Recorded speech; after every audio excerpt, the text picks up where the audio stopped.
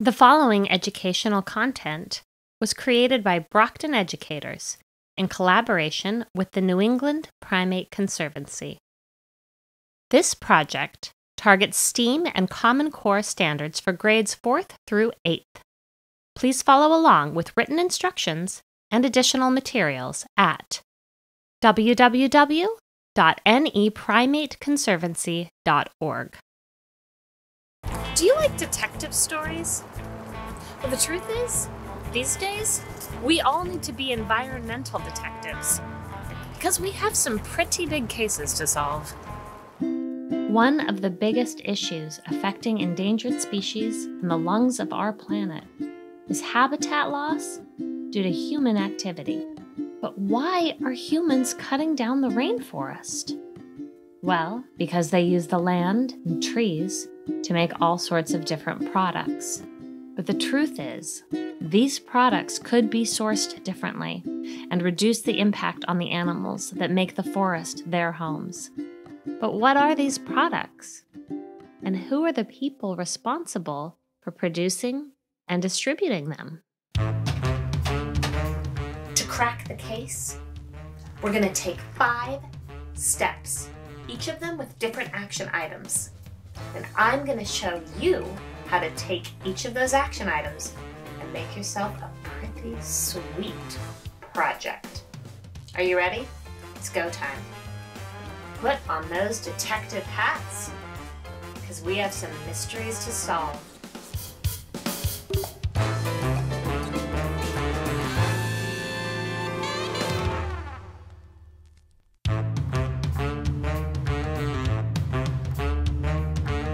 I'm on the case. And so are you.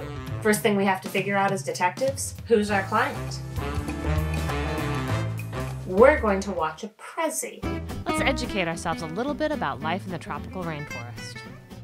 Either pause this video and click over and watch it now and then come back, or you can watch it after seeing all of the instructions. Action item two Adopt a rainforest animal from these rainforest game tiles. There are lots of interesting, wonderful, and unique animals to choose from. Who did you choose? If you adopted a primate, you're in luck. Because the site you're already on has so much information for you. If you decide to pick a non primate, you can just do an online search to find out more about them. Now that you've adopted an animal from the rainforest, and that you've really researched their life, their habits, their family, and their group activities. Write a paragraph or more about your client animal, using all the information you've gathered about who they are, their life in the rainforest, and what threats they are facing. You can use a just the facts sort of approach, or you can get creative. Hey, tell it like a detective story. All right, detectives. We got an important story to tell. Let's get to work.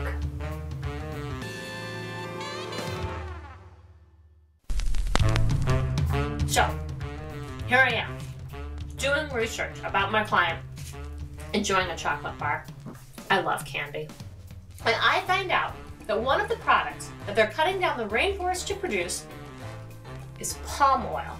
And I'm like, palm oil? What the heck is palm oil?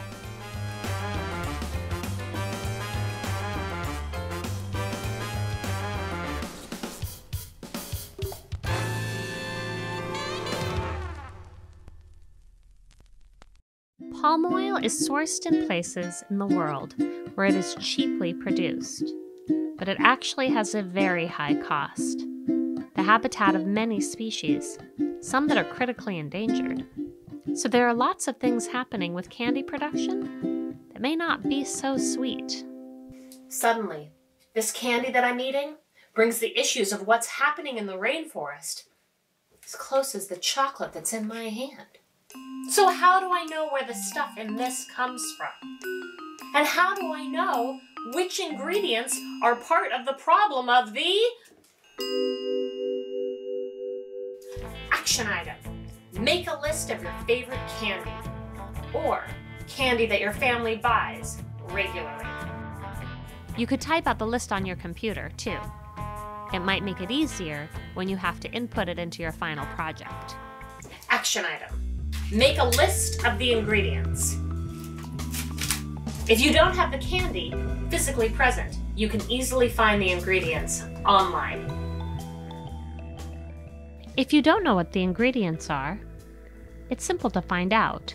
Just input the name into an internet search to find out what it is. Flag any word that has palm anywhere in the name. The trick is, palm oil goes by over a thousand different names in consumer products. Action item Find the name of the company that produces the candy. If you have the candy present, it's on the packaging.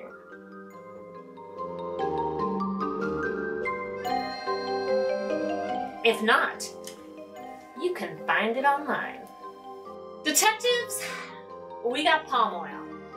And we got the name of the company that's producing it. But the question is, how are they producing it?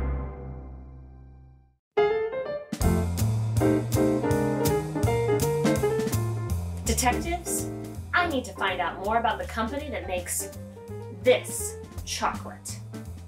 And since I've gotten used to looking at the backs of packages, I'd like to know a little bit more about who makes other products I might find around my house. What's in them, and who's behind them. I'm on the case, and I'm a serious detective.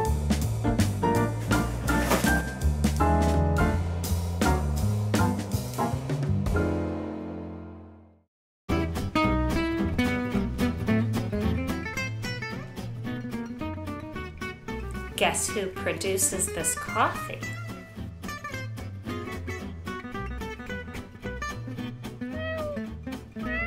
Guess who produces this cat food? That done in there?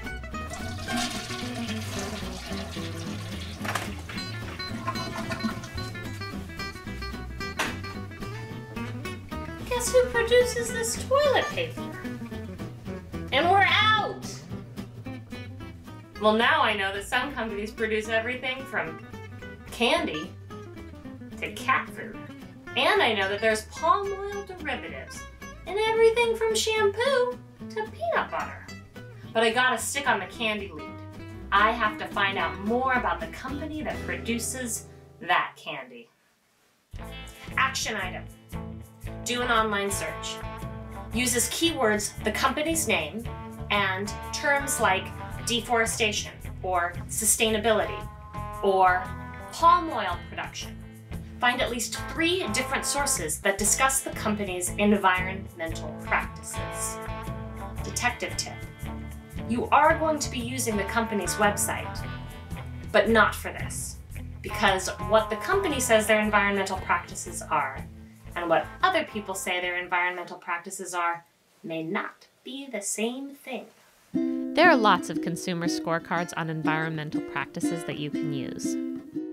Also, if it is a big candy company, chances are there have been articles and major publications about them. Collect these sources. Evaluate their credibility. Detective tip A credible source should have an author and a date and should have sources of their own. So, now we know what other people are saying about the company that produces our favorite candy. And we have cited our sources, so we have evidence. Detectives, it's time. We're gonna take this straight to the top. We're gonna talk to the candy boss. So, I was hot on the trail of the candy boss. You know, the person in charge of making all the decisions for the candy company. Is Candy Boss there? Yeah, I'm looking for the candy boss. Yes, I'll hold. Yeah, I'm trying to get a hold of the candy boss. Yes, I'll hold. I'm holding. Yes. Yes, I'm still on hold. Anyone seen a candy boss? I knew the list of suspicious ingredients. I'd done my research, and I knew the reputation of the company I was looking at. But how could I get in touch with them?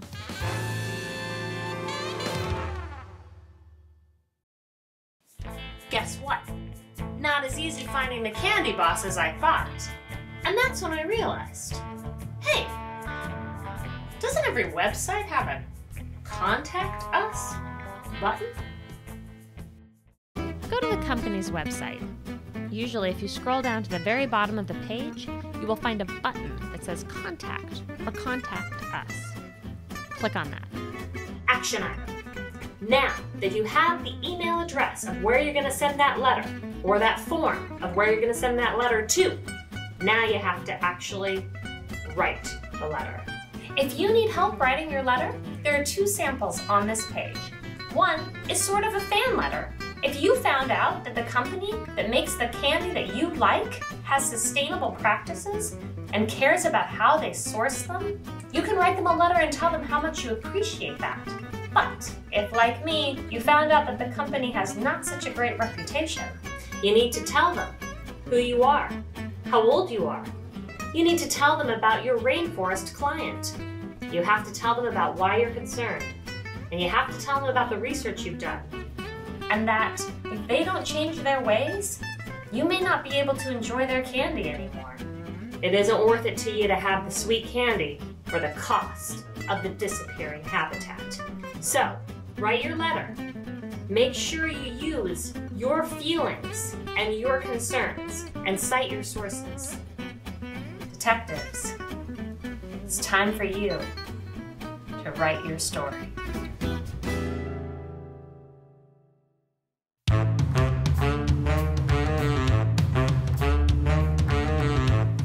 Detectives, I wanted to wrap this all up in a pretty little bow, but instead, I got threads unraveling every which way. To recap, I went to the company website and I clicked on the Contact Us button. From there, I wrote a very detail oriented, wonderful letter about their environmental practices and my concerns. I got a form letter in response. It said they appreciate my concerns and a bunch of other stuff that frankly sounds like a bunch of hooey. I'm wondering what kind of response you got. Detectives, here's where we need to take this case to the next level. We have to tell everybody what we know. Action item. Using your client animal and some of the key facts you have learned. Share this on social media with friends and family and the public. Share it with us here at the New England Primate Conservancy too. Action item. See if your friends and family have interest in also investigating the products they buy, and if they'll help you write more letters to companies about their environmental impact and their products. In some cases, companies have promised to change their environmental policies based on feedback from consumers, just like you. Also, now you have the makings for a sweet project that you can do for school or to make your case for the public. Action item. Make your own detective case file. Weave together each of the action items from all of the steps. From this, you will be able to make something that's very compelling. You can make it as a PowerPoint. You could do a video like this one. You could even make it an essay or a performance. The key is the steps that you've done and the research that you've done, people want to know about it. So find a way to show it and share it. One thing is for sure, the more people understand the impact their consumer choices have on the rainforest, the better. If we work together, we can make a difference for these animals who call the rainforest home. Well, detectives, it's far from over. But I am so glad you are on the case with me. No one can do everything, but everyone can do something. And for the sake of all of us inhabitants of planet Earth, let's do what we can. Well, hope I see you around as we continue to try and solve the case of the disappearing habitat. Happy sleuthing.